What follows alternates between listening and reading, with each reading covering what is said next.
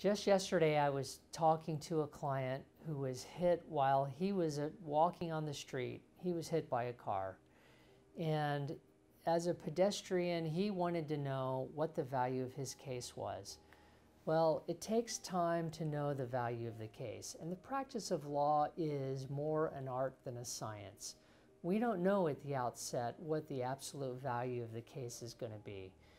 But our role is to gather the evidence and to preserve the evidence and to maximize the ultimate recovery of the case. For his part, uh, my client's responsibility is to get medical treatment and to do what the doctor tells him to do. And he signed up with us so that we can send an investigator out to the scene to investigate the accident, to take statements from witnesses, and to investigate insurance on the other side. Critically important.